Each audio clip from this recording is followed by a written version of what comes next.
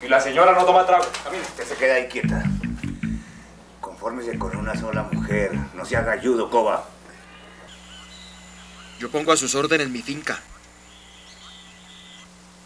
Se ve que es un hombre de confianza, Arturo. Poeta, yo no quiero problemas. Despachado el señor.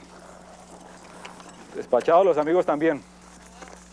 El señor Barrera no está, pero a lo mejor yo le puedo servir mientras tanto. Usted, que a mí no me sirve ni para un remedio. Pero algo es algo. La Vorágine, solo por el canal RCN Novelas.